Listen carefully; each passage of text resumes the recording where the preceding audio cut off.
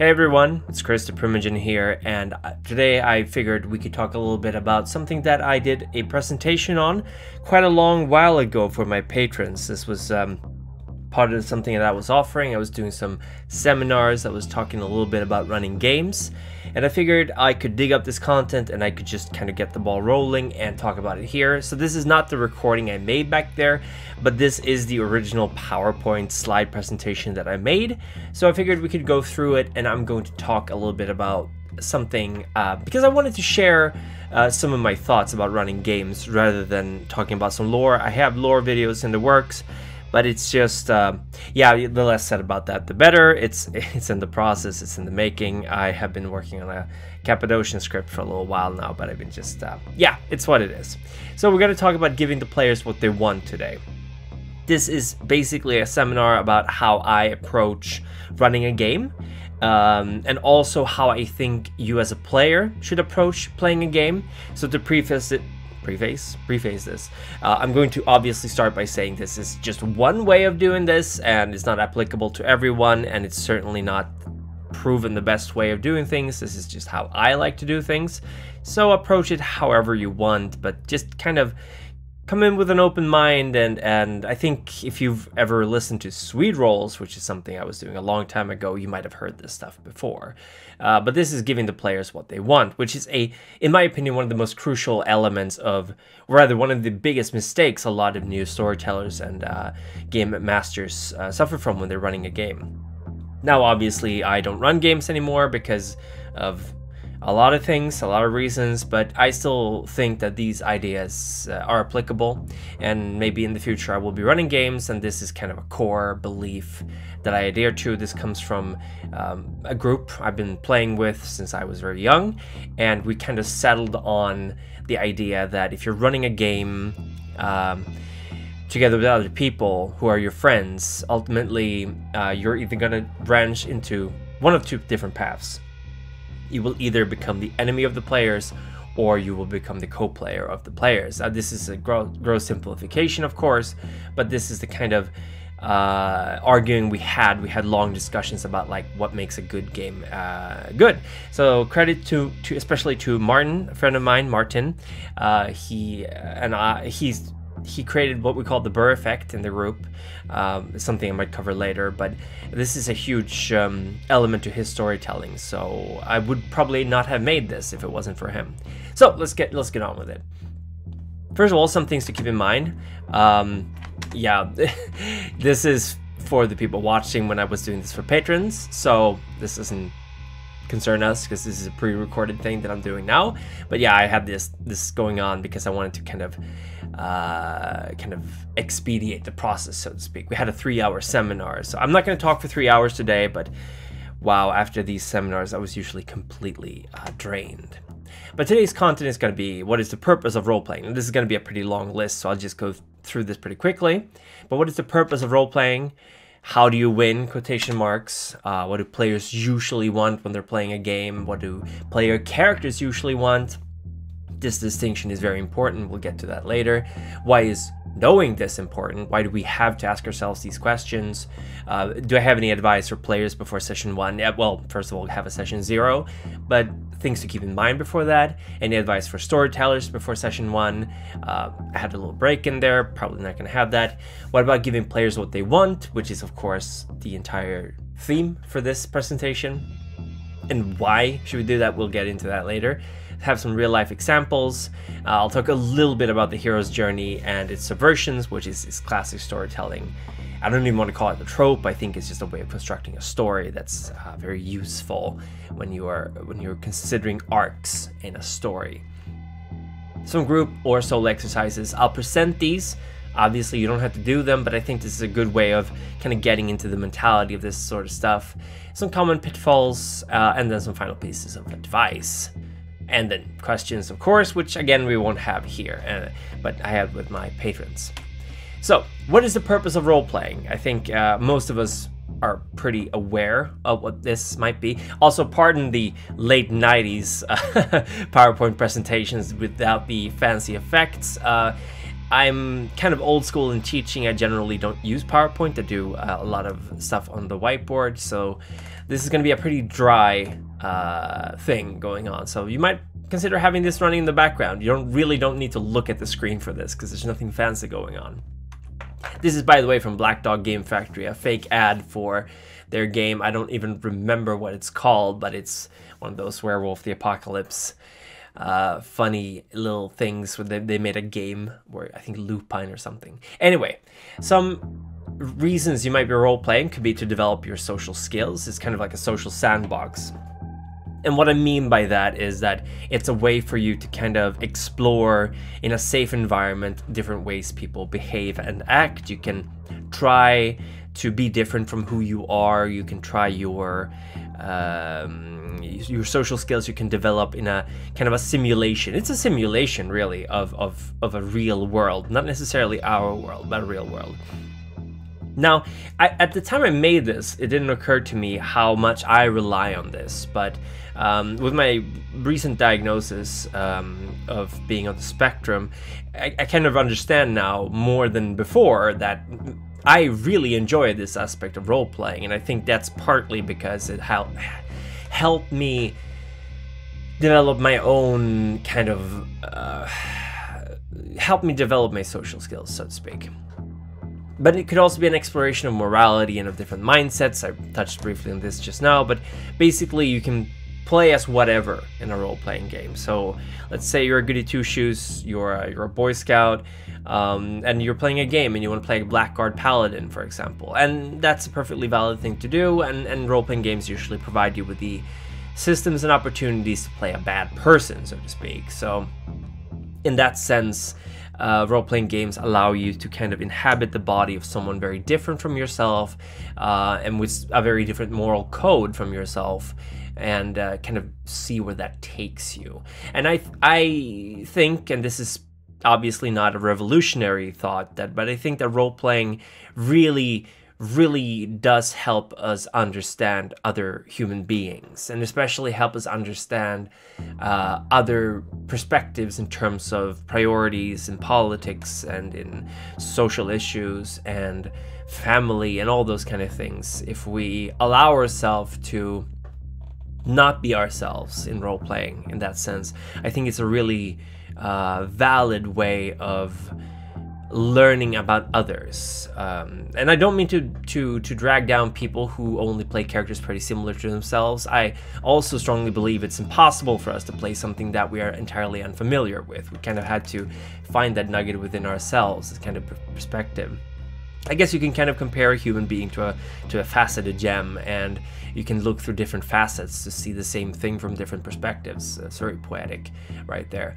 But yes, uh, I think um, if if you only limit yourself to playing characters very similar to yourself, or without a very good motivation, which we'll get to later, uh, this aspect will often be lost to you or diminished, be diminished. It's also creative practice to exercise your mind's eye this is a fancy way of saying it helps your imagination develop, which, um, yeah, I think both your imagination but also your vocabulary definitely expands from role playing game. Uh, role playing games. Uh, and um, I think definitely as a storyteller, you work very hard to kind of find the good middle ground between between being too descriptive and being just descriptive enough. So that's really a good um, way for you to kind of work on your narrative skills. And as a player as well, like you don't want to take up too much space. You don't want to describe every single one of your actions to in detail. So you're gonna have to find that sweet, sweet middle ground of being descriptive but not ov- overtly so. It's also a freer form of gaming that prioritizes player agency. And what I mean by that is that players generally have a lot more say in what happens in a role playing game, at least in a good game, in my opinion, or at least in a game that has the time to be a good game in this regard. Um, obviously, a game ran at a con will have less of this because it's a very limited time game. I think it just got a message. Uh, I'll edit that out of post. Uh, but basically, a free form of gaming that prioritizes player agency. So, uh, in a role playing game, uh, your options are mostly just limited by imagination, both on your end and the storyteller's end. So, I would uh, absolutely argue that role playing games provide in a sense, uh, a freer gaming experience. Like a lot of times, people used to talk in the '90s and the the aughts about like being able to do whatever you want in a game, and I think a lot of people who like games like Elder Scrolls or GTA or uh, other kind of games like Eve Online, for example, is a good example of that. Like there is a lot of autonomy. Like you can you can do a lot of things. You can visit a lot of different places. But ultimately, it's still limited by the scope of the game. It's still limited by the budget. It's limited by the production value. Those kind of things. But a role-playing game is only really limited by the people playing it. So I think it's pretty neat. It's a fun way to spend time with people as well, possibly friends. And this should not be this should not be diminished. This is a very, very good reason to be role playing. Um, personally, uh, I walked out of a game with this same group I mentioned before at one point in my early 20s because uh, this this has never really been my main motivation to role playing, uh, which is a little bit selfish, I, I, I would assume. But I, I find role playing not to be the most fun thing I can do with my friends. Um, I, I, I find role playing, for me, it's very pretentious, but I find role playing to be a very kind of almost a sacred experience, almost a, a spiritual experience in that regard, uh, which is kind of a strange thing to say, I admit.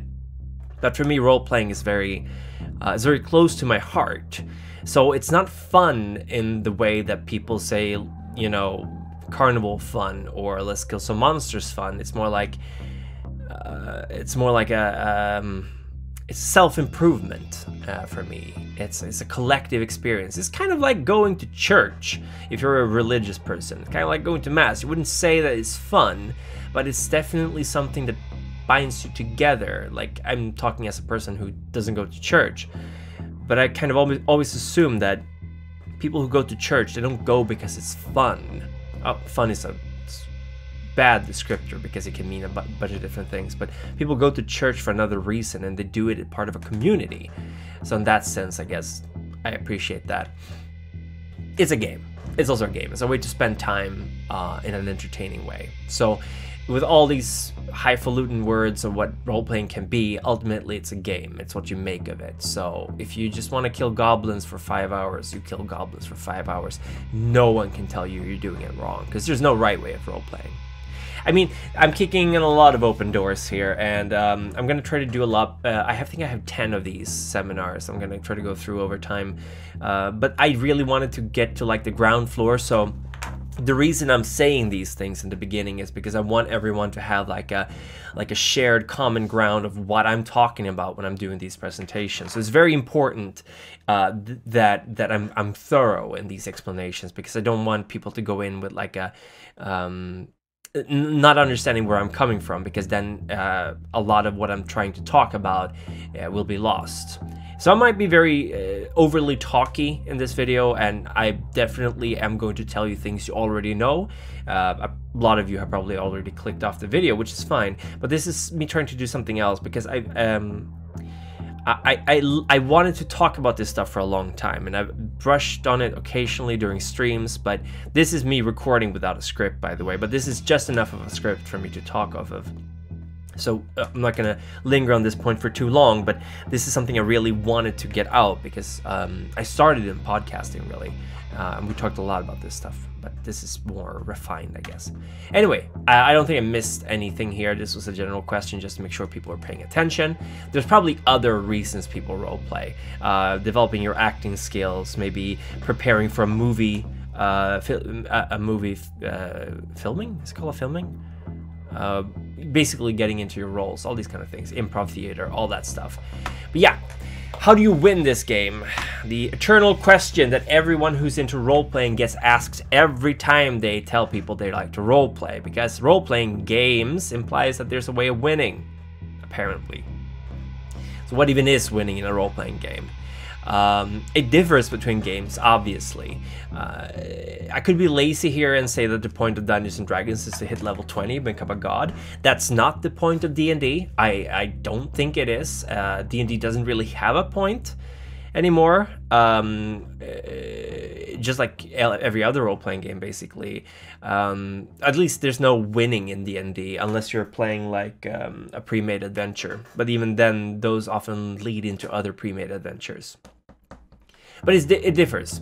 Uh, a, a, computer role-playing game has a set story, so winning uh, means you become Dovahkiin or whatever. You you kill all the evil dragons and you save or condemn uh, the place in the north, whatever it's called, Skyrim. That's what it's called. Um, other games don't. Bloodlines obviously has a goal, a way of winning, several different endings actually, but Vampire the Masquerade does not have a way of winning. And in fact, Vampire the Masquerade subverts a lot of traditional role playing uh, motivations, really. Uh, we'll get into that later. And it, also differs between players, um, duh. Uh, some people want to role play as a way of escapism. They want to feel like they have power and control over their lives. They want to feel like they're uh, they have their own agency, which is becoming more and more common, I think, because uh, as as the world becomes more connected globally, we realize more and more, first of all, how utterly insignificant we are as individuals, but also that um, how little control we have really over the world around us. Our world has grown bigger, uh, larger, but our control over our world has grown less. Um, I'm not going to get into uh, philosophy and politics here, but I think a lot of people can relate to to me saying that because I think it's it's just a matter of how the world works right now. Uh, I think 100 years ago, your world was significantly smaller, and I think uh, that meant that your your sense of self and your sense of control over your life was probably a little bit bigger albeit uh, at the sacrifice of probably dying earlier, being more uh, susceptible to disease. Uh, there was wars. Go- life has always been garbage. But to get back to the point, some players uh, want to suffer. Uh, some players want to have drama. Some players want to grow as people. Some players want to kind of test the limits of this world that they're created. Uh, they've created, and th- these are all valid reasons to play in the game. Uh, groups obviously also have different ways of looking at this. Um, my group in real life, we tend to consider winning uh, the point where we don't want to play anymore, I guess. Um, both good and bad ways. Winning is kind of a misnomer here, uh, I guess, uh, the end of the game in that sense. Uh, but we run a game until we kind of just understand that no, no, this is not working or we're done with it. So that's when we move on. Other groups have very clear goals. Other groups, their winning is getting everyone to attend a game for six hours once a month. Everyone can just forget about the world outside of the four walls surrounding them and just hang with their friends, have a couple of drinks, and really just, you know, role play. That that in itself might be a victory. It also differs between sessions. Uh, this is more, of course, uh, tighter to tight, tightly tied to your player characters. Uh, but it could also be like as a storyteller. Uh, how do how do you know that your your game session was was uh, well received? How do you know it was successful? How did you win? It's really always a very good idea to list your goals um, when you start a game to just kind of remind yourself that even if there were some parts that didn't work that well, in general you had a good time, and that's really all that matters. Um, something I should probably practice as well. I have a, I've closed my doors, uh, my door to the room. So if you hear a cat in the background, that's Victor, who's very upset that he's not allowed in here. Yeah, I hear you, baby. I'm sorry, I'm recording a thing. Uh, my view is optimal engagement. This is my personal way uh, of looking at winning a game. Not exactly a revolutionary concept. I say that, but when I read this, I was like, what the fuck do I mean by optimal engagement? Well, optimal engagement is basically making sure that everyone's having a good time and participating in the game. Now, I can't force people. This is out of a storyteller perspective, by the way, but this might as well work for players as well. Like, if I'm engaged in the game to the point where I don't check my phone every five minutes or I go out of character and chat with my fellow players and bother the flow of the game, I consider that a win if I'm a storyteller and all the players walk away from the table saying, "Man, I can't wait for the next session," that is a that is a sign of success in my mind. That's that's optimal engagement. Not not all players are going to do this. Uh, some players are more comfortable sitting back, observing, and making minor actions, or not even doing anything. They just want to be part of the the the group, which is a perfectly valid way of playing. Uh, I do think, however, this is going to be a little bit of a controversial opinion here, but I do think that people who people should communicate their expectations and their wants to the storyteller very clearly, uh, which requires a little bit of insight into how one enjoys a game. Because if if I join a game and I'm super psyched to play it, and I spend the entire session saying three words and then walking away without a word, I might have had a great time, but there's no way that the people I play with would know unless I told them. So there's there is the onus of of, of showing uh, appreciation as well, both to your group and to your storyteller when playing a game. Uh, it's a collaborative thing.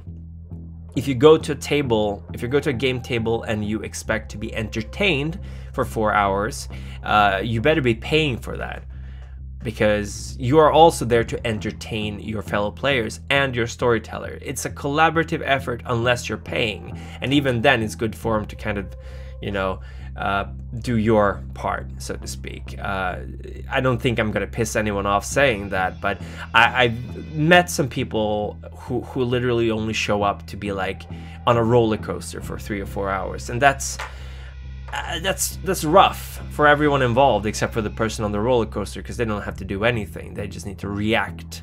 Uh, a game should be proactive, not just reactive.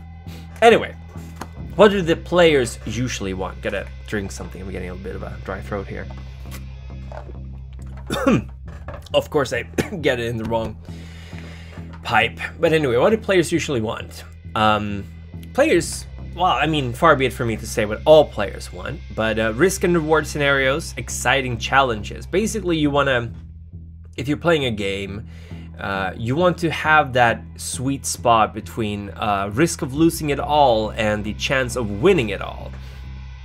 Martin used to say that the best thing you can do is to give your players what they want, because then they will be desperate to hold on to what they have, which will provide a lot of interesting challenges and stuff for the storyteller to use. Uh, pe- people want to be challenged, I- even though it's not a conventional game in that sense. You don't want to go through a session where literally nothing happens. Uh, there are this is a careful balance of risk and reward. You don't want to have too many risks and too little reward, because then it might feel like you're constantly swimming upstream. Too many rewards, it might feel unearned, it might not quite have that oomph you thought it would have as a storyteller. Some people want to have an opportunity to influence the world of the game. They want to matter, and this ties back to what I talked about before. It ties back to the, uh, the sense of autonomy, the sense of control, the sense of actually being the master of your own world. Now, obviously, you can't have every player do whatever they want in the game world, uh, um, unless by pure happenstance all the planets align and everything will work out fine. But a lot of players want to feel like their characters actually their choices matter. So if you run a game where people make a lot of decisions and you never, uh, you never really um, act out on those decisions, and like let's say for example they they meet the prince and the prince is being a rude asshole, uh, but the prince has a mission for them. That's what you prepared for, and the players are are being rude back. Um, a common beginner's mistake when storytelling, even a veteran can mistake this, is that they, they will they will kind of overlook these insults to the prince because uh, they haven't planned for what would happen if the prince suddenly decided to have a couple of the players uh, punished for their insolence. Uh, so this is a classic kind of trap that you can fall into if you're too set on telling your story for to the players. If you're if you think of yourself as the entertainer uh, and and don't want to be entertained yourself, it's common for a storyteller to kind of just gloss over any sort of personal touch the players bring to the game, which is to the detriment of the game because they are also fellow storytellers to you. Some players want to make tough decisions that has an impact. That have an impact. Should be have an impact. Sorry. I uh, looked through this, but this one kind of kind of went by me. Okay, so what what does this mean? But this is kind of an, an evolution of what I was just talking about. Some people want to want to play like we talked about before in a in a safe, contained environment. They want to be generals and, and warlords and, and kings and queens and, and assassins. They want to make they want to make a change on this world. Again, maybe they work at McDonald's or I don't know, they, they work a nine to five office job that's just killing them, killing their soul. They want to feel like they have the world at the tip of their finger that they can just tap it and everything will you know change. So some people want to have that. Um, kind of weaves into the previous one. I'm gonna gonna sneeze. Ooh, pardon me. Some people want to feel empowered. They want to be self-realized. Again, this is a similar theme, but basically the classic power fantasy. Some people just, I keep saying people. I'm gonna say players. I just figured out how to mute my mic, so that's pretty good. Uh, some players want to feel strong. They want to feel like they can push people around. They want to feel like they, they, they matter. People respect them because of their power. Self-realization, classic kind of element of, of desire for role-playing games. Some people want to explore the world their characters are in.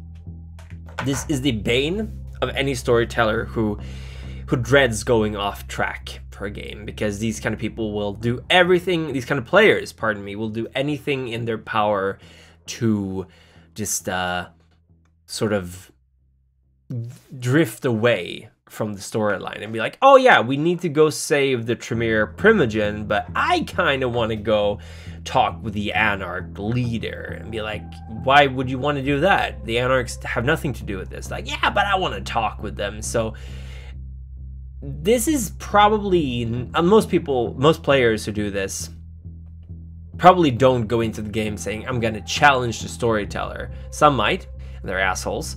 Um, mostly it's just like a, uh, maybe they have this idea like, oh, maybe if I do this, uh, this will happen. And I think this is often actually a sign that you made a believable world to the point where the players think that things exist outside of your narration. And that's for another seminar entirely. But, uh, oh, actually, we'll get to that later um, in terms of player characters. Uh, but yeah, basically, if you have a world that seems alive, where things happen that the players aren't involved in, uh, a lot of players will immediately want to kind of explore that when they find out more about it. Plenty of other reasons, plenty of other motivations. Uh, there's a motivation for every player in the world. Um, I talked a little bit about mine. Yours might be different from these. Maybe you'll recognize yourself in one of these or more. Sometimes we differ. Sometimes we go in with one expectation and come out with another one. But what do the player characters usually want? Now this is this is important. This is super important for your game. Uh, and this is as a player, this is where you make it or break it. Do you want to amass power, riches, influence, or all of the above? Some player characters just want to become powerful. This is a very common uh, trait in Vampire the Masquerade. I would say maybe half the players. Oh, okay, that's a. That's entirely taken out of the air, but a lot of players probably want to have their characters become powerful. This is also a very common approach to vampire if you're from a more um, if you're from a more incremental kind of game if you played a lot of dun- lots of Dungeons and Dragons, for example, classic Dungeons and Dragons, again, D&D has evolved quite a bit. Uh, but if you played a lot of classic D&D, where you gain levels and you find magical gear and you gain power, chances are people sold Vampire the Masquerade to you as a game where it's like D&D, but it's like a social game, or like it's about vampires and a hidden society, and you have power and influence. And I mean, a lot of the backgrounds are kind of around, centered around that, like resources and contacts and influence, all that kind of stuff. It's not an unusual one for vampires. Vampires are greedy, it's pretty common. Some vampires are out for revenge. Uh, maybe it's a revenge against society in terms of like Anarch's uh, Camarilla. Maybe it's revenge against the uh, the elders who manipulated them, like classic Sabbat kind of stuff, uh, especially Sabbat turncoats. Maybe they're they're out for revenge for being treated like a like a disposable pawn. The Jyhad is, after all, a very influential element in the story of Vampire the Masquerade.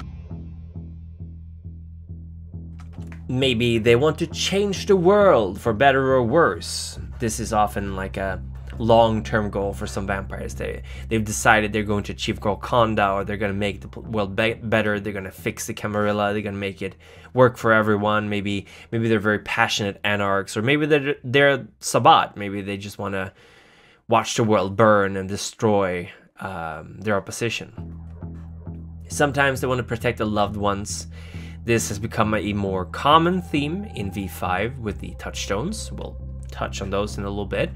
Uh, but maybe yeah, maybe their their their family is really the only thing that keeps them going, even though they might not even be in touch with them anymore. Maybe they want to explore the world they're in.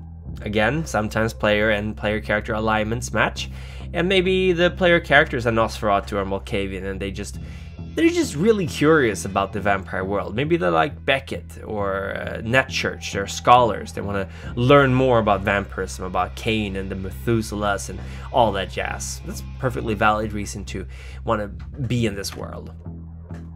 Maybe they want to experience the thrill of going toe to toe with worthy opponents. And maybe I shouldn't be reading word by word what I'm saying here, but chances are a lot of you are probably in a car right now where you're working and you don't really pay attention to what's happening on the screen so i'll keep reading this. But yeah maybe maybe the player characters are just like classic kind of samurai want to fight strong opponents and want to test their mettle against the, the, the hardiest foes. Now i'm gonna say this is not a very conventional way of approaching vampire but it's certainly a valid one. You want to get strong maybe you want to see how high up in the Camarilla you can climb. You want to. The, the end goal isn't power per se, the end goal is beating others to that power. And so on. Plenty of other motivations could be possible. Uh, why is knowing your and the your character's motivation why is that important why, why why does that matter to the game um, you probably ask yourself that, or maybe you just brushed aside what I said, and well, that's obviously something you think about right when you start. Well, the complaint of railroading and what it actually means. So, a lot of people uh, let's see here. Yes, um, I just need to look ahead a little bit because this is. Uh, I wrote this when I wrote this two years ago. I think I wrote this two years ago, close to two years ago. I was very, I had a very solid idea what I was going to talk about. Railroading is going to show up, uh, the discussion of railroading is going to show up a lot in my presentations here. Uh, and basically, a standard complaint of railroading um, is people complaining that uh, th- their their characters' motivations don't matter. They're saying that the story is being told whether or not they have any uh, opinions on it, and um, they feel like their characters don't matter. They, it's just a story. And uh, that is the most common com- complaint of railroading. Railroading is when when you're basically providing a roller coaster of experiences.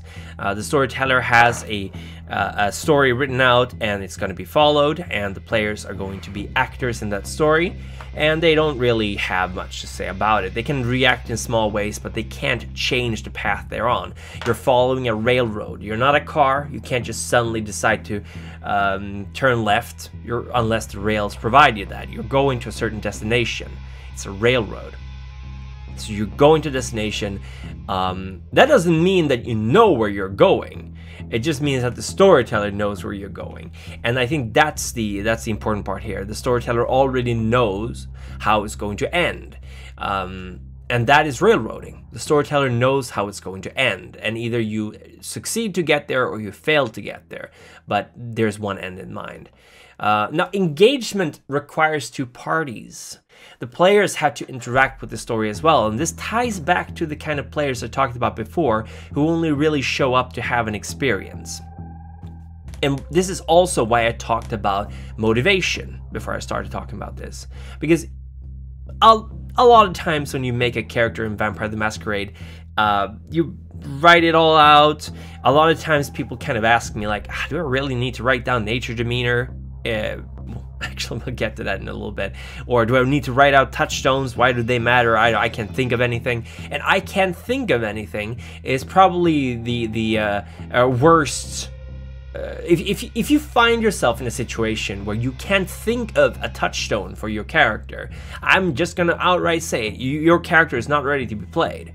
You haven't put in enough thought into your character unless you want to get railroad. See, that's that's the thing. Uh, if if you don't provide the storyteller enough incentive to kind of roll with the punches and know how to include you and your you and your character in the story, of course the, the storyteller is going to default to a railroady kind of story.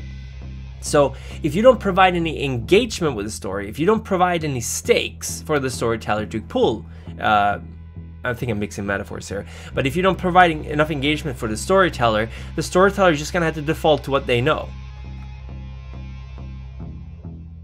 This is super important. You have a responsibility as a player because you're just as much a participant in this storytelling as the storyteller is. So if you make a character that has nothing to work with, you can't complain about being railroaded.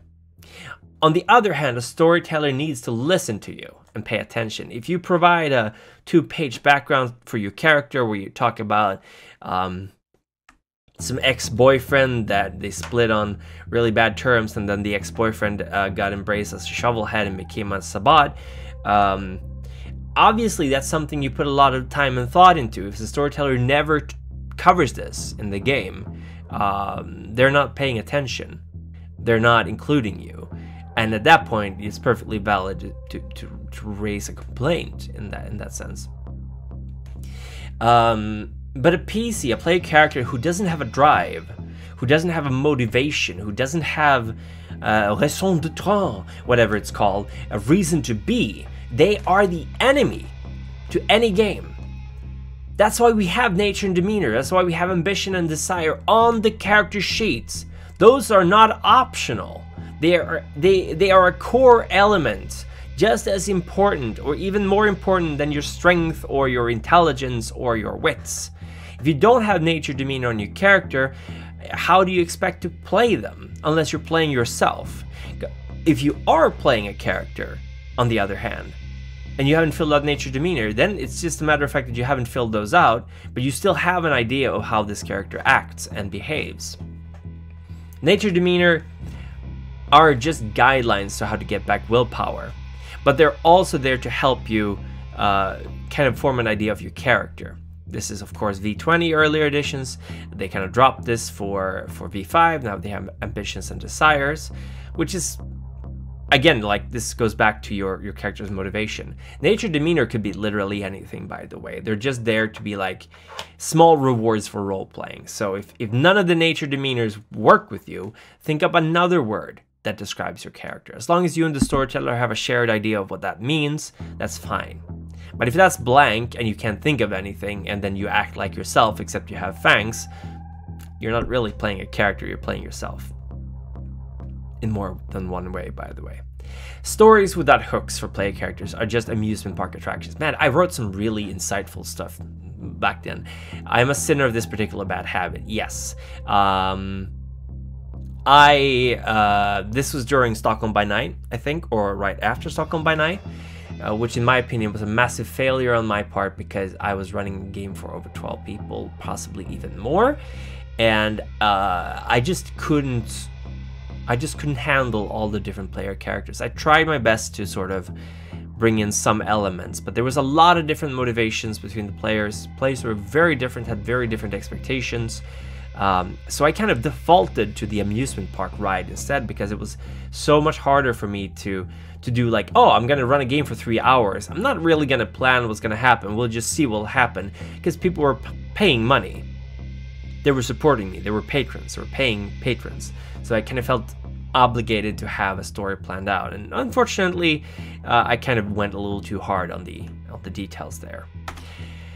So here's some advice for players before session one. Just take it what it is. It's advice. You don't have to follow this if you feel it's stupid. But if the story of the game wasn't happening, if if whatever events are planned for tonight weren't going to happen, what would your character be doing? What would your PC be doing? If the answer is you don't know what they would be doing, the, the character's not ready to be played.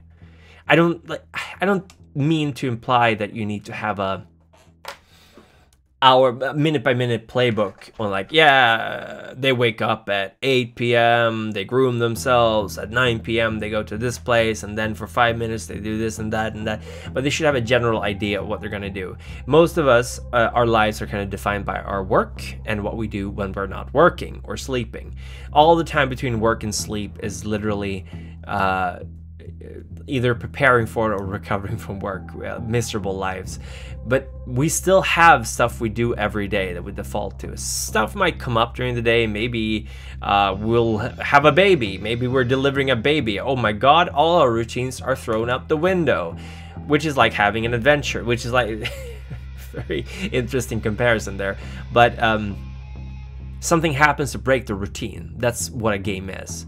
It breaks the routine of your character. If if you're playing a game and it's all routine, then it'll get boring pretty quickly. It is fine if the answer is their daily routine, however. But then what is that routine? What was Luke Skywalker doing before he bought R2D2 and C3PO with his uncle? Uh, and what would have happened if you bought the one with a bad motivator? What does Sascha Vykos' average night looks like look like? We don't know this, uh, obviously, because we haven't read Sascha Vykos' diary, uh, so we don't know what they do in between all the horrible shit they've done in books and adventures. Uh, but we can kind of guess. Uh, I, there is not a single person on this planet who doesn't have an average day with average stuff where they go to bed and be like, yeah, I didn't really do anything of importance today. And when you're an adult, you usually file those days away and you forget about them. But if you think about what you did today, uh, you did a lot. You did a lot of stuff. So how would that look like? Have a basic idea in your head for, for how that would look like for your character. Your touchstones have a value outside of the game. And I think the conversation about touchstones has kind of died down since I wrote this because this was a hot topic back then. I think it might still be on Facebook and stuff. Spoiler, I read a lot of discussions on Facebook, but I don't comment because it's the same shit all the time. But touchstones have a value outside of the game. And what I mean by that is that they exist to help you developing the previous questions. They help you design a character who is struggling with their humanity, which is a core concept of Vampire the Masquerade, especially V5. Now, if you don't want to play that way, if you don't want to play with your humanity and uh, all the core themes like that, yeah, well, I mean, V20 provides you with plenty of stuff. You have a lot of paths and you can do things differently. But even Sabbat vampires have routines. They have daily or nightly routines, rather, that they do when they're not, you know, uh, doing a. Uh, uh, a siege or or having uh, having an inquisition running in through your town or whatever. Your touchstones had to cough there. Your touchstones are there to give you something to work with. They're basically a tool. They are not a stone to weigh you down.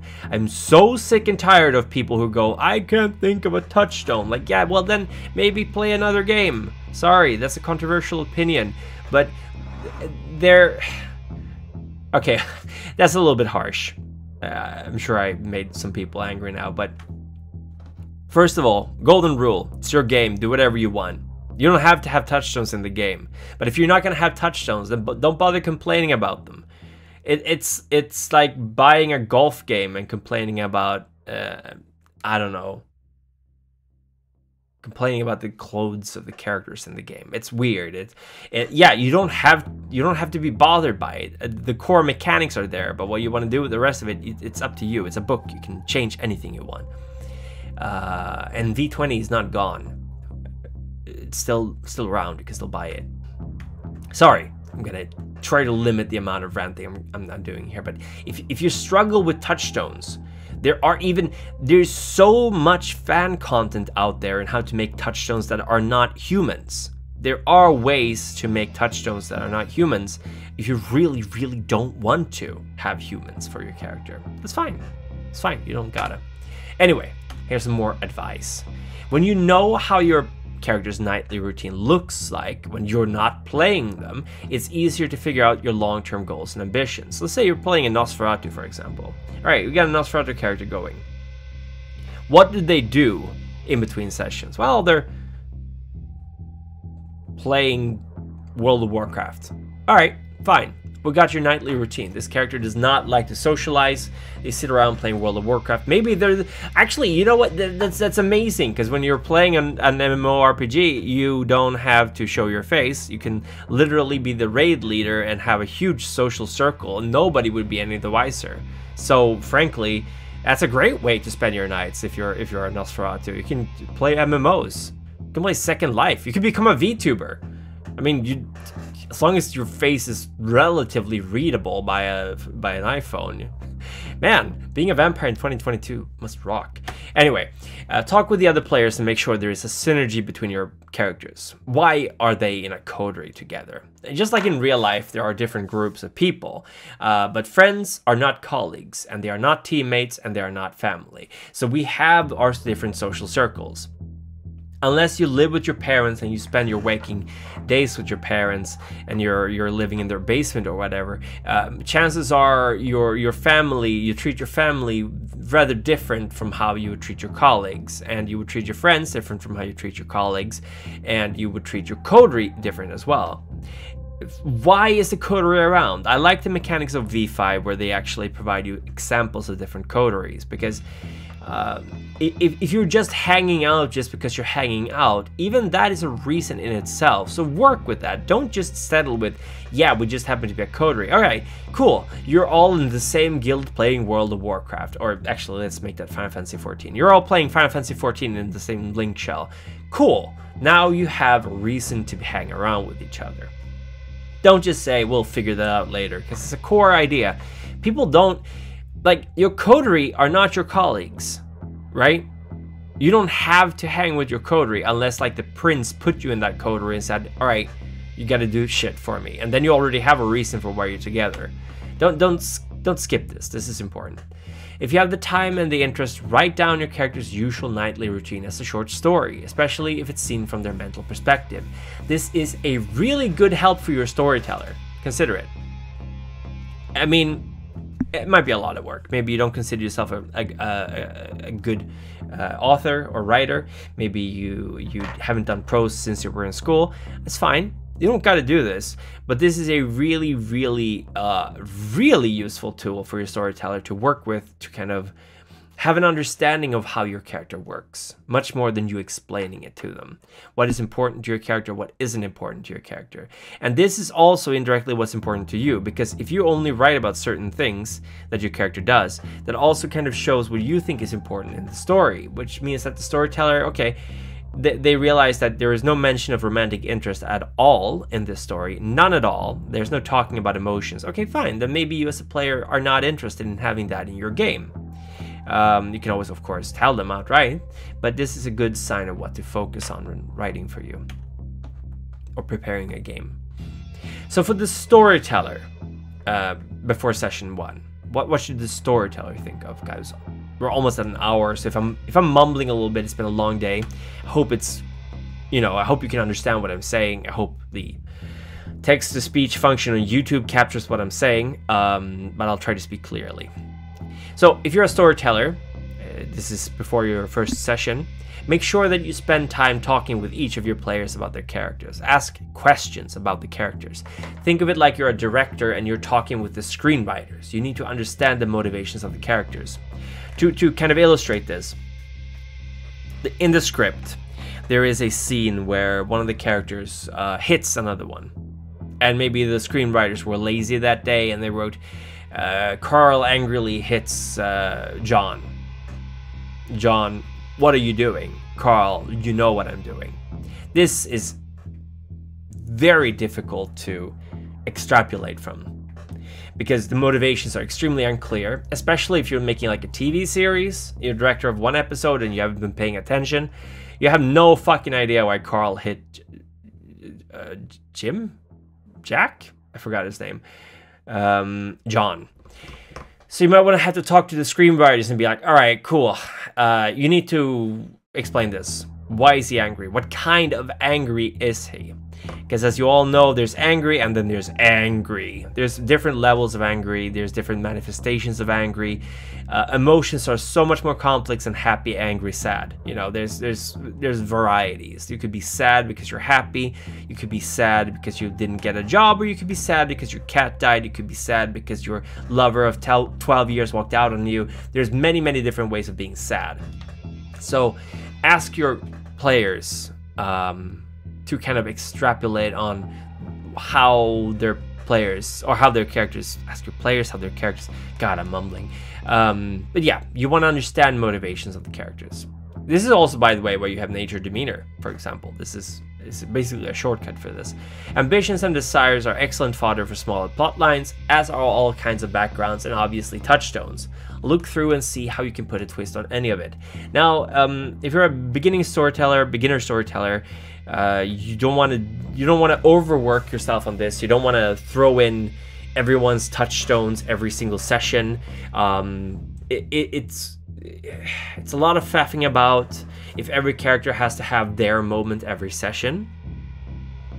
Sometimes it's better to just focus on one character per session, makes it easier for you, and be clear about that with the players. Like, okay, we're gonna have this stuff happen, which I want to tackle with you guys as a group, but then every session we're gonna kind of do a little um, I'm gonna go with a microscope on one of you, one of your characters, to just kind of focus on them for their opportunity to do some solo role playing. This is a better way to do it than just have like, okay, what do you do? What do you do? What do you do? And then you have an hour and a half suddenly passes and the other players haven't done anything they start looking at their phones or i don't know they started talking about the game the weekend yeah you don't you don't want to you don't want to have the majority of your players not do anything for an extended period of time because that's kind of a mood killer, unless they're really invested in the characters. Even then, sitting around for four hours not doing anything but just listening is kind of a kind of a tough ask for people. So keep that in mind. Maybe the player character's daughter is working with the Second Inquisition. Maybe they're hunting the player characters. These are these are some examples I wrote down. Perhaps one of their contacts in the police informs them that they've been seen assaulting people and that there's an ongoing investigation. Oh, apparently that was all I wrote there. These are some advice for stuff you can use. Man, uh, let me just check how, how much further this is. Oh my god, this is a lot. Actually, no, no, it's not a lot. We're almost at the end. Uh, yeah, the exercise at the end. The common pitfalls. No, we're doing fine. We're doing fine. All right, let's let's go back to where we were. Okay, so this is where I had the break time, time the first time. So we won't have a break, we'll just move on to the next point. What about giving players what they want? Which was the topic of this entire video. Chris, talk about this stuff. So first of all, get rid of the old started from nothing cliche. What do I mean by that? Well, um, before we go on with the next point, basically it's very very common for every single game to start out at at, at um, uh, what's it called uh, square one yeah that's, that's that's the word so you don't have to start at square one you really don't you can start in media res you can start let's say you start the game with the coterie having just killed the prince and all of a sudden they have to deal with that that's an excellent place to start. Maybe they're already the, the, the primogen. That's an interesting way of starting as well. Maybe the players uh, have the ear of the prince. Maybe they, they're very trusted advisors. Maybe they have a massive library of tomes that they were just handed the key to. They have the investment accounts of Mithras or the original copy of the Book of Nod. Give them something awesome. Don't be afraid to reward them, either before or early in the game. Give them exactly what they wanted. Give them something cool that everyone in this world wants. Because you want to make them powerful, you want to give them influence, let them attain their wildest dreams and reap their rewards. Because Vampire tends to very often kind of fall into the pitfall of misery, misery porn. Everything is horrible, everything is garbage. You never succeed in anything. You you're just you're just one step away from doing a Joker literally every session, and and that can be tiring for people. It's, it's like you're you're like I said before, you're, you're swimming uh, against the stream constantly. Instead, revert it. Give the players what they want. Ask them what what what would your character do if you were suddenly in charge of London? Because that's interesting. There's an entirely different sets of challenges for that one. And why? Well, because as soon as they have what they have always wanted, the risk of losing it becomes a very powerful motivator, right? Because imagine you uh, imagine you won two million dollars. You've never really worried about losing two million dollars, but then all of a sudden you have that money in your hand, and you're like, I really better not waste this money, or you absolutely waste it, which can be interesting as well. But basically, Vampire the Masquerade is built around this in a nutshell. Like, what, the most precious thing you have, the only thing you have in the classic way of starting is your humanity. That's what you have to protect. But in Vampire the Masquerade, um, the risk of loss is is ever present. Losing your humanity losing your touchstones losing your touch with uh, the world around you losing the battle of the Jyhad losing your position in your clan losing every loss is a very powerful motivator in vampire but it's always a, like a losing the very last things you have or losing what little you have. What if you have a lot and you're at risk of losing that? It, it makes the game very very different this strong motivator can become the main cog of the machinery and invite for player engagement and initiatives. Alright, you have London. All of a sudden you're in charge of London and 36 vampires are eyeing you, kind of sizing you up, wondering, alright, alright, is this gonna work? Are they gonna let me do my thing? Am I gonna have to get rid of them? Can I influence them?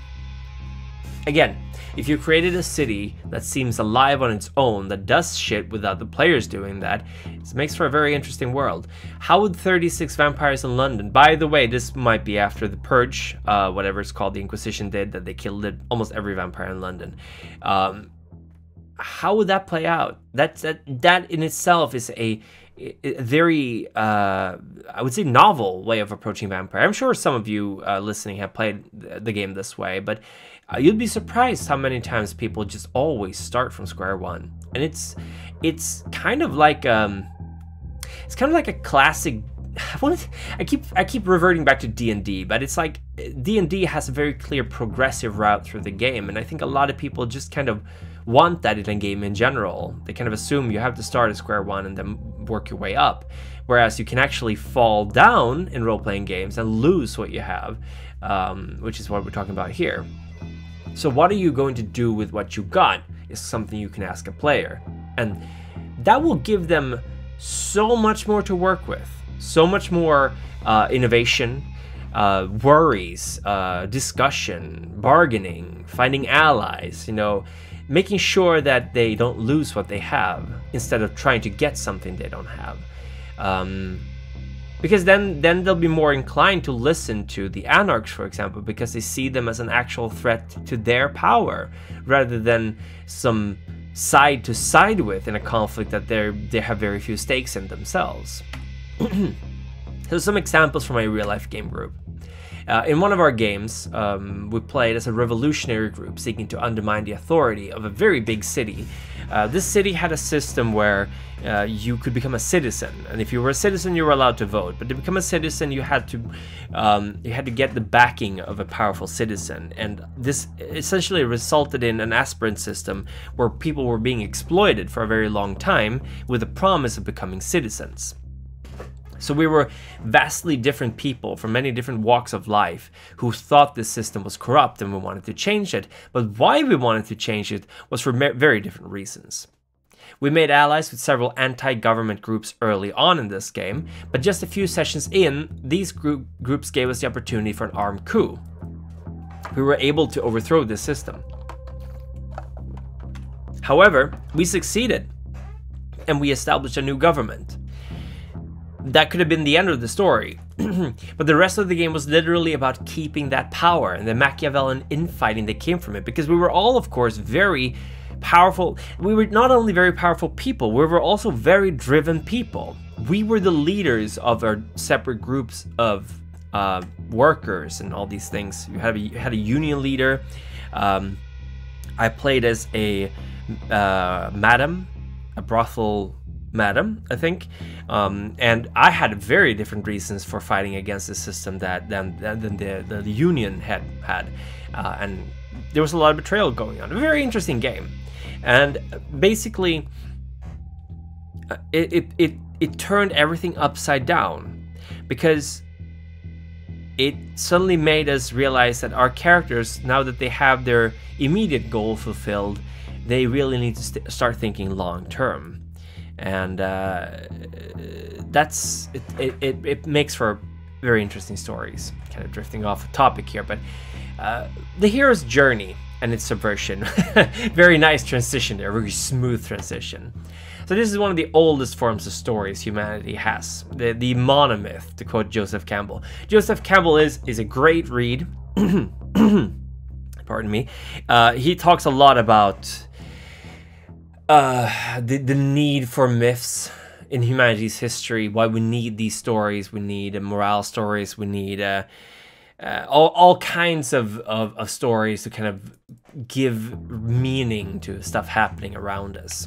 Um, the, the hero's journey is basically the classic Frodo. Frodo faces a challenge. He's thrown into a world of adventure. He loses a lot, but he learns a lot about himself. Ultimately, he comes to overcome his personal challenges and beat the bad guy. He returns to where he was, but he returns a changed person. That's kind of the hero's journey in a nutshell. Uh, probably skipped a few steps there. But you will also see this. You will see this in so many movies, and even in shorter bits like um, television series. I know uh, Rick and Morty was. Uh, strange, uh, strange example here, but Rick and Morty had this eight-step uh, system to how they made their episodes, and it's very similar to the hero's journey. Yeah, Lord of the Rings and its ending subvert this, uh, because the hero's journey usually ends with the hero being a better person. But in the Lord of the Rings, uh, Frodo, Frodo can't live in the Shire anymore. He's he's too hurt. He's too changed by the world outside, so he chooses to move on, to leave the safety of the home. Um, a lot of stories subvert this, and I like to say that if you're going to subvert something, you have to understand what it is you're subverting. Uh, this is a common writing advice I give to some of my patrons, is that uh, you can't you can't write a non-conventional story if you don't understand the conventions. Um, the hero's journey is one of the most conventional ways of telling a story. You really have to understand why that is it's not that someone just sat down and decided that this is how a story is going to be told, because the hero's journey can be found all across the world in cultures very, very different from each other and very isolated from each other. And this is something much more fundamental than a set of rules that some dude just arbitrarily decided. The hero's journey is a um, is a human uh, trait it is something that we desire as human beings generally. It's something that it, it fulfills a need that we have. It, it's how cooking uh, is just not it's even more fundamental than cooking it's part of our it's like a it's in the dna of our culture the our, our culture as human beings even your game can and should play with the hero's journey, but again, with awareness. You need to understand when and how to subvert it if you're going to subvert it. Nobody nobody's gonna watch a children's movie and be like, "Oh, this this this story follows the hero's journey and it's really uncreative." Like, yeah, yeah, of course, Chip and Dale isn't gonna be the most groundbreaking. Uh, hold on, gotta drink some water yeah, Chip 'n Dale Rescue Rangers isn't gonna be subverting your expectations with the hero's journey. There might be a slight twist in it, but it's for children. Um, nobody's gonna complain about children's movies being predictable, and if they do, they're a jackass. But if you're right, if you're writing like, if you're writing adult stories, um, then it's fine to subvert things, but you should be subverting with awareness of what it is you're subverting and what changes you're bringing to the story like that. I'm a huge fan of anime. Uh, that came out of left field, but as if you know me, you know me. Um, anime is often very, very predictable. Shonen anime doesn't matter if it's Demon Slayer or if it's Naruto or if it's One Piece, JoJo's Bizarre Adventure. Actually, JoJo's Bizarre Adventure, interesting enough, is one of the most subversive uh, shonen out there. I wouldn't even call it shonen to be honest, but they are extremely simply stories, simple stories. Boku no Hero Academia, My Hero Academia. It's, it's so it's so mind-dullingly predictable. But that's not why you're watching it. You're not watching it to be wowed. You're watching it because it's a story that brings comfort, uh, which goes back to what I was saying about how it being part of our genetics, our DNA.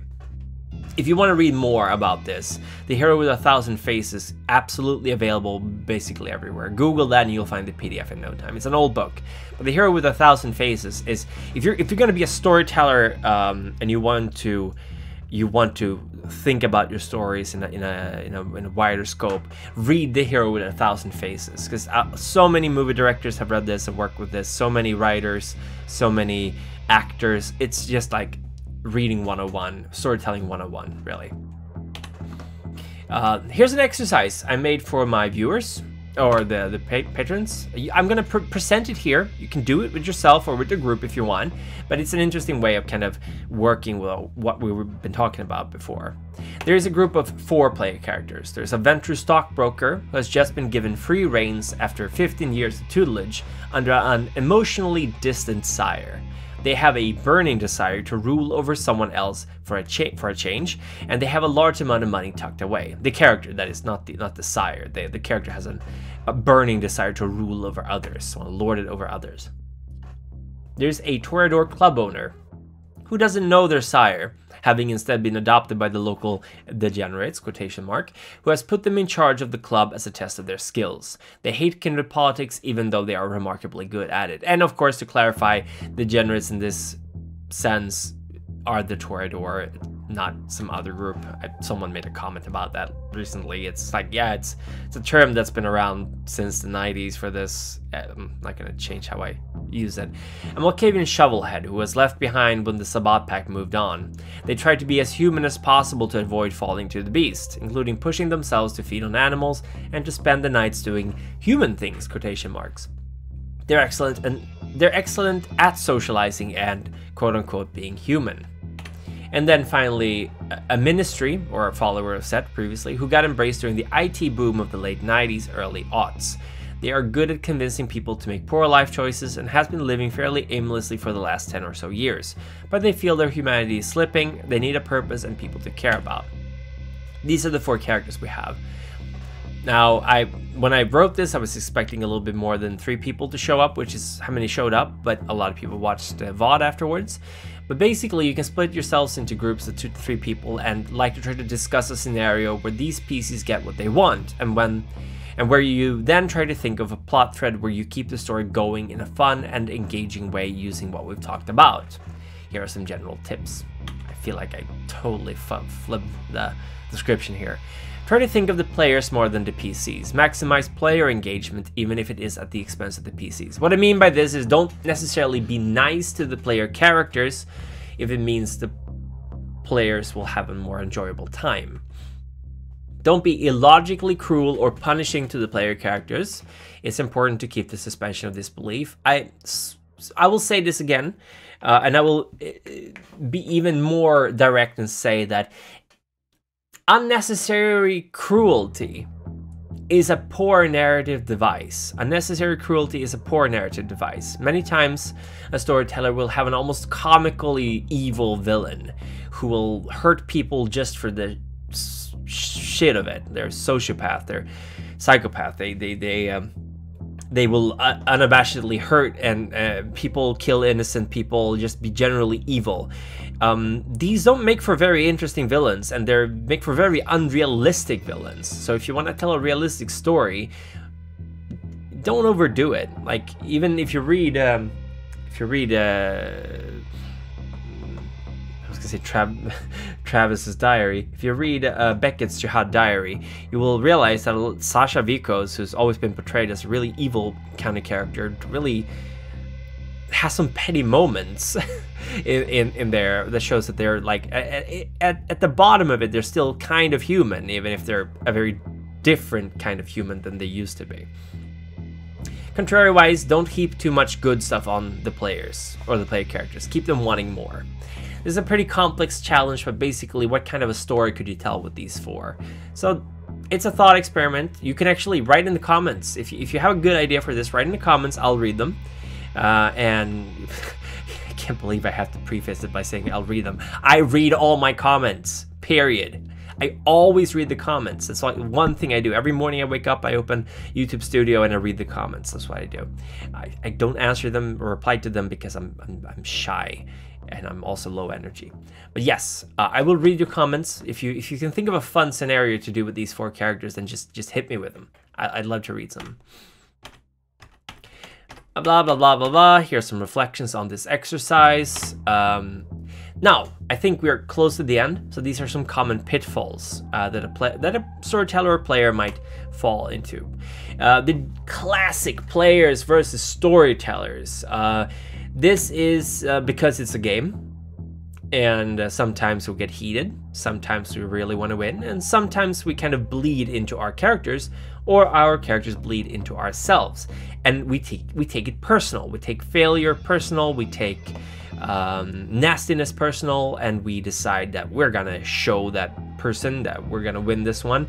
This is not a good thing uh, in general, in my opinion. I think I think it's just breeding ground for misunderstandings and kind of it's it's can sour the table pretty quickly. So as a storyteller, um, try to try, try to hold back on on like really like insurmountable threats in the sense that don't throw like don't throw Sascha Vykos at the players to just show them how weak they are compared to some of the established characters in this setting. Because I'll be I'll be honest, it's probably not gonna have the effect you thought it would. It's either gonna have them be dead set on actually beating Sascha Vykos so much that they will derail your campaign, or they're just gonna be demotivated, or they'll be like, okay, cool, but what's the long term impact of that on the story. Uh, unpredictable behavior as a player. Uh, try to try to try to make realistic decisions for your characters. Even if you're playing Malkavian, uh, try to operate within the boundaries of the story. You're there to have fun. Don't fuck with your storyteller just because you can. Uh, they're a human being just like you, and I can guarantee you they haven't spent every waking hour of their life predicting every single thing that you might be able to do as you play a character. Like this is you're not glitching out of the map in a computer game. You're making your storyteller frustrated. It's two very different things. Uh be kind of clear unclear proceedings. What did I mean by this? Uh unclear proceedings. I'm gonna have to try to proceedings. What did I mean by that?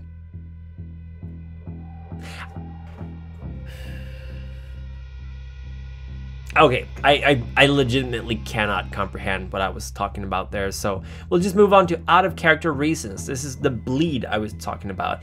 Bleed is the enemy of the game, because if you start taking things personal in a game like Vampire, very soon um, your motivations will bleed in with the uh, character's motivations, which is not going to be fun because then the game will be more about you and what you want rather than the group and what the group wants. And it won't be a collaborative thing. It will be you versus the storyteller you wanting to get what you want.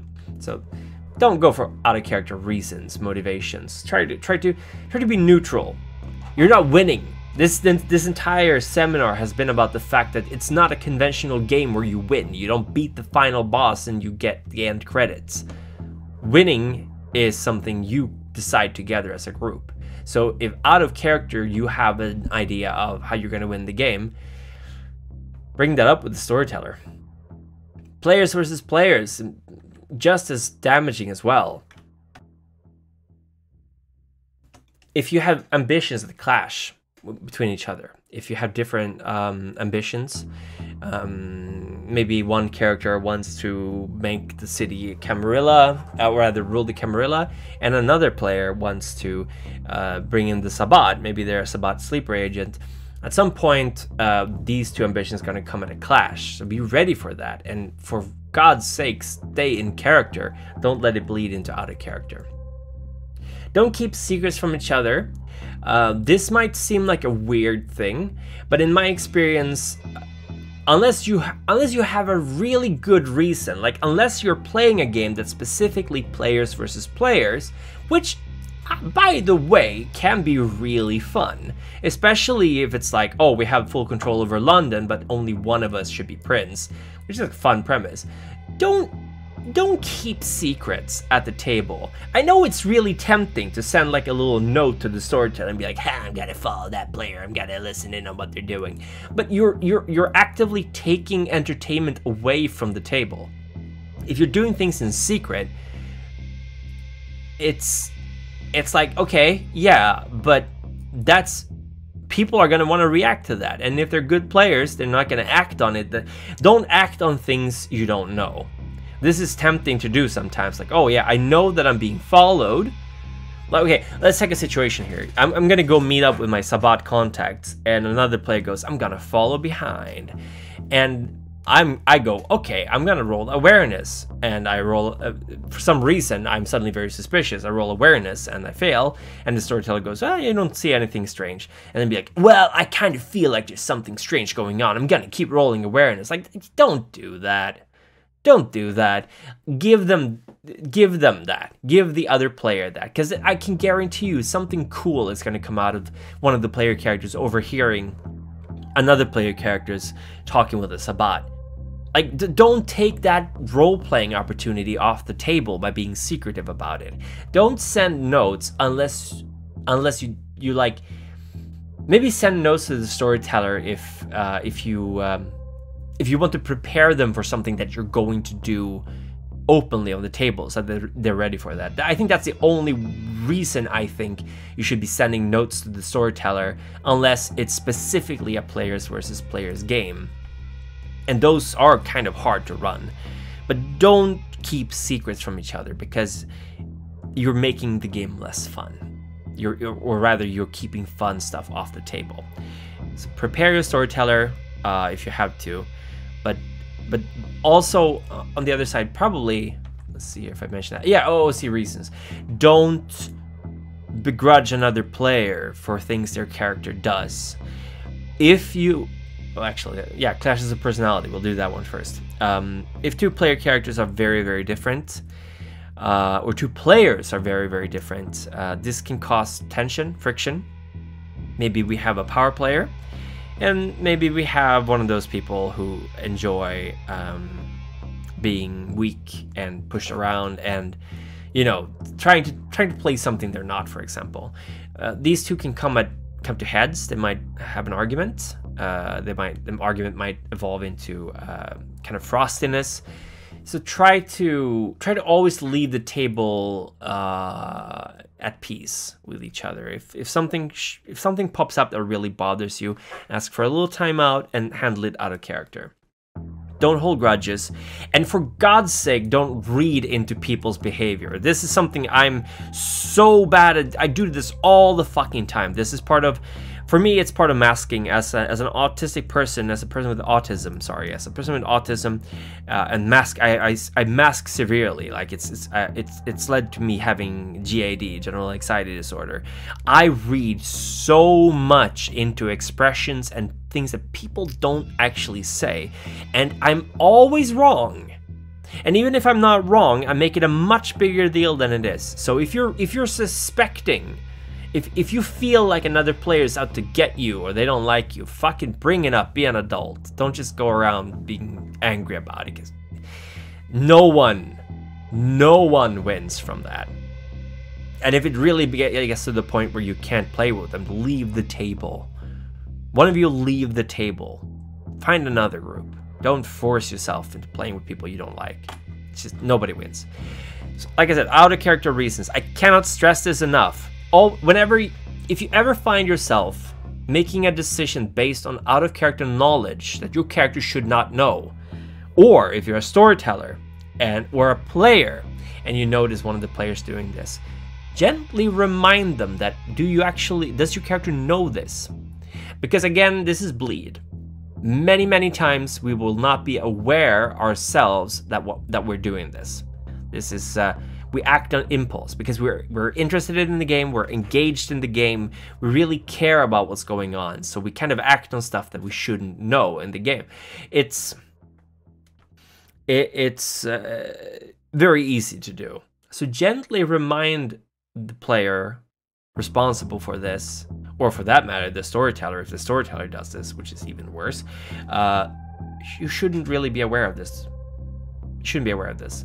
And I'm not saying that, be- well, I'm actually saying that because I um, uh, this kind of behavior is even more common in people who um, who are afraid of loss. And uh, before I go on, I just need to elaborate on this. And again, this is not a judgment, but a lot of people, uh, myself sometimes included, are very sensitive to being in a position of weakness because you're exposed, uh, you can come off as being not so intelligent, uh, or you can come off as being kind of clumsy or goofy, and we kind of don't want that. We don't want to be in that situation. We want our peers to see ourselves at our best. So we will subconsciously uh, work uh, with everything at our advantage to kind of prevent that from happening. We have to suppress this for a game. We have to understand that we have to trust in the other players and the storyteller that at the end of the day, the only reason our character failed at what we did is because it will make for a good story.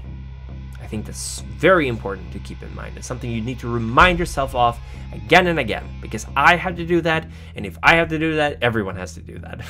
Let's move on.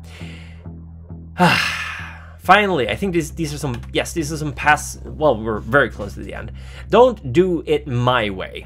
Don't permanently accelerate the story, and this is this is a common pitfall for storytellers and I, I every single time I, I run a game I've done this I take on too much responsibility for the entertainment of my players so I will constantly throw new things at the players I will constantly put them in challenging situations and I will constantly come up with new stuff going on because I'm worried that the players are going to be bored or that they're going to sit there and be like all right so is that it is that the end of the ride and and I think honestly it it's a sign of being a control freak to a certain extent. I can say that because I am.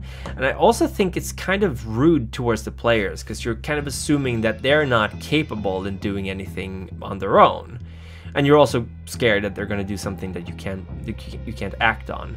This is a prestige thing a lot of times. You want to provide as good of an experience as possible. You want to be a good storyteller trademark. You want to be Matthew Mercer. You want to have a situation for every possible scenario. Well, I got news for you. You're not Matthew Mercer, and there's nothing wrong with that. Uh, you can just say to the player, okay, I don't know how to respond to this, so we're going to shelf that for a little while so I can think of a good response to it, and then we'll get back to it. That's something I do in teaching uh, a lot. If I don't know the answer to something and, and I'm in a flow, I'll just tell the student, all right, I'm going to write that on the whiteboard. I'm to write down your question. At the end of the lesson, we'll figure out what it what it is, but we can't do that right now because we're talking about something else. Shelf it. Don't be afraid to shelf things that are out of the left field that you're not prepared for. And take it easy. Sometimes it's fine to just hang out in your haven with your coterie for a whole game. That's fine. Sometimes that's just how you want to vibe. So don't don't permanently accelerate your story. Don't keep raising the stakes every single time because that ain't good for the game. So keep these very important things in mind. I do believe this might be the last slide. I'm probably going to eat up my words, but no one can read your mind. No one can know your motivations. No one can know your reaction to what other people do. I'm not saying you have a responsibility to explain uh, how every little thing someone does annoy you if that person is being an asshole, but you kind of have a responsibility to to yourself. If you find yourself in a situation that is entirely unple- unpleasant for you, eh, you can't expect people to understand that it is that way unless you express that. Um, as a storyteller, create a space where people can tell you these things. either in private or as a group, as a deflation of the game. When the game is over, spend 20 30 minutes at least to just hang out, just talk. And uh, if you've ever worked in crisis management or if you know people who do, uh, there's a classic saying that in the last five minutes of a meeting, all the bad shit happens. Because that's when people kind of finally decide to uh, to say the controversial things that they've been thinking the whole time. If you're playing with strangers, if you're playing with people you don't know, you, this is even more important. If you're playing online, especially if you're playing online, you have to be very clear with your emotions and your feelings. And if you're playing with people you don't know, you have to be very clear where your boundaries are. It is not their responsibility. If you haven't been clear with your boundaries, it is not their responsibility if you are if you feel uncomfortable in a game to a certain extent. Um, this is why you have a session zero. You have a session zero to kind of at least give people a basic insight into how you feel about this stuff. Of course, there might be situations that come up that none of you could have predicted. Perfectly fine to say timeout. You should say timeout. Never sit through a scenario that makes you feel uncomfortable unless you're okay with feeling uncomfortable about that I had to pause there. I had to phrase that in a certain way. I have been in role playing scenarios where I have felt very uncomfortable, where I have felt scared for my life, uh, where I have felt very threatened. But that has been with very close friends who, who all knew and trusted each other explicitly and knew that if we ever pushed it to the point where uh, it was too much, we would say it was too much. And when I say I felt scared for my life, not that I've had a gun pointed at my head or something like that, but that Mike, I've been so invested in the game that the emotions my character felt were like, I, I tend to bleed a lot. So for me, it works because I kind of I kind of have a good control over it anyway, but even then, sometimes I bleed too much uh, into my character, and the character bleeds too much into me. If you're recording a game, why are you recording a game? I have a lot of opinions about this, but if this is your first time recording a game or playing with a group, you gotta make sure you're not doing things that uh, might get you in trouble. I would never suggest a new group of people who don't know each other to sit down and play a game online and record it. Never. It is very dangerous. Uh, it can lead to some really bad shit. Uh, because once it's out there, you have no idea who's gonna save it. And if you accidentally do or say something that felt okay at the time, yeah, don't, just don't do it. Only play online, on stream, with people you trust, and with very clear rules. And even so, restrain yourself. Practice restraint. Make sure that you're very aware of what's going on. Because your way of communication might be very clear to your fellow players, might not be so clear to people watching you. And a 5 second clip taken out of context, it's gonna, that can hurt. I'm not talking out of experience. So far I have not been in that situation.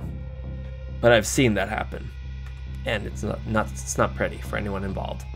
It's fine to want to play a dungeon crawl, or to go murder hobo. It's a game. You do whatever you want. Spend an entire session just focusing on hunting. It's your game. Everything I've said here, they are opinions and advice. Opinions and advice are not rules. Don't go quoting me and saying you're not running a game the way the Primogen says you should be running a game. What's wrong with you? Uh, unless you think that's a really funny joke.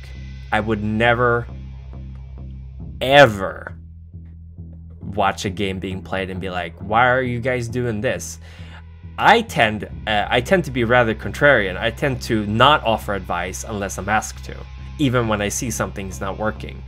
Um, quite frankly, I don't think it's any of my business. I don't know the entire situation. I I'd rather err on the side of cautious. If people are being hurt, that's another thing. I'll probably raise my voice then. But I I I, I can't police how people make their content, and I don't think anyone should. Uh, but if you are putting your content out there in public, it's public. It, it is a God-given right for people to be allowed to criticize the content you make. And it's a God-given right for people who get their content criticized to bite back and not have not I, I get people. I get people in my comments saying things. Most of the time I don't care. Sometimes I just go, well, shrug emoji. Whatever. You can have your opinion. I legitimately care enough that I'm going to make fun of you. That's my God given right as a content creator. not stirring the pot.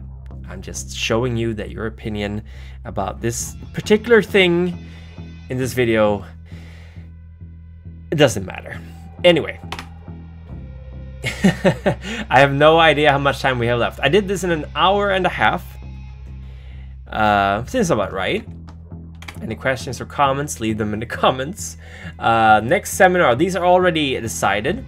This video will be uploaded for all of my viewers. Uh, I had people watching, so they were actually asking me questions in real time, but that video is never going to go public. I promised my, my, my, patrons that, and I'm going to stand by it. Uh, I, I was already a little bit skeptical about uploading this because I felt, mm, this kind of stuff, should I really... Um, should I be showing this? This was exclusive content, but it's been almost two years, so I feel like I can show this. Also, I really wanted to upload something because I am so angry at myself for not doing that. And it's, it's, I have stuff ready, I have audio edited, I just can't sit down and do it. I'm so tired after work. I'm so tired with all the stuff I'm doing. This is the best I can do. So this is an hour and a half of giving the players what they want.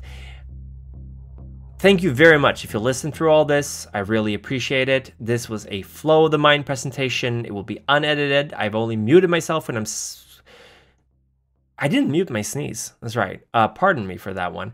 But I muted myself uh, drinking some water and stuff. So uh, I'll upload this right away because otherwise I'm just going to keep pushing that forward. Thank you so much for watching, for tuning in. Sorry there was no avatar talking during all this. This might not be the kind of content you're here for. Um, well, that's too bad. Uh, this is the kind of content I like to make. Um, and uh, there will be more of these because I this actually felt really good. I'm very happy with this. There will be shorter lore videos coming. I just don't know when. Sorry, I don't know when that's gonna come out. I'll, I'll I'm doing my best. I, re I really am. I'm very sorry. There's not much more content. Enough pity uh, farming for that. So hope this helped you out. If it did, leave a comment in the comments below, I guess. Uh, and take care. And be careful out there because Gehenna may soon be upon you.